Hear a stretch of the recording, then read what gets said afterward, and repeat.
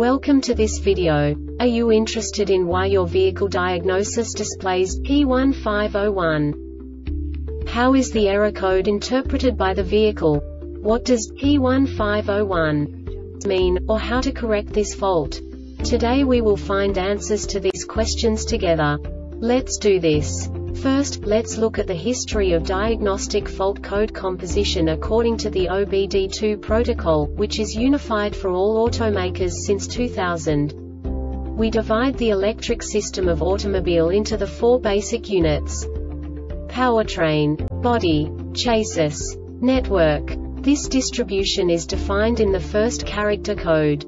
If the second character is expressed as zero, it is a standardized error. In the case of numbers 1, 2, 3 it is a more prestigious expression of the car-specific error. The third character specifies a subset of errors. The distribution shown is valid only for the standardized DTC code. Only the last two characters define the specific fault of the group. Let's not forget that such a division is valid only if the other character code is expressed by the number 0. Our website airbagreset.sk produces useful videos for you. You do not have to go through the OBD2 protocol anymore to know how to troubleshoot any car breakdown. You will find all the diagnostic codes that can be diagnosed in a Audi vehicles. Also many other useful things. The following demonstration will help you look into the world of software for car control units. You unbelievably can move the video a bit further. The error code is split into two bytes consisting of 16 bits. One bit is the basic unit that each computer works with.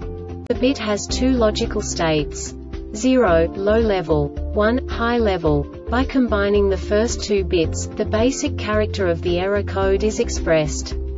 The next two bits again determine the second character.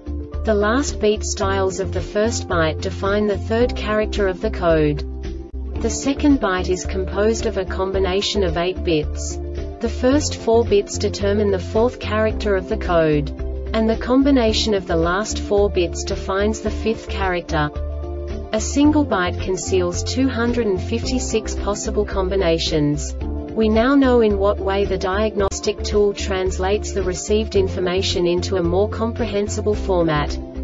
The number itself does not make sense to us if we cannot assign information about it to what it actually expresses. So, what does the diagnostic trouble code P1501 interpret specifically Audi car manufacturers? The basic definition is fuel pump relay circuit electrical short to ground. And now this is a short description of this DTC code. Engine running the ECM detected that the fuel pump relay signal was intermittent. This diagnostic error occurs most often in these cases. Fuel delivery unit connector is loose or not attached fuse 18 cause a short to the transfer fuel pump or the O2S fuel pump has failed fuel pump relay circuit is shorted to ground B plus or is open fuel pump FP relay not activated ECM has failed. The Airbag Reset website aims to provide information in 52 languages. Thank you for your attention and stay tuned for the next video.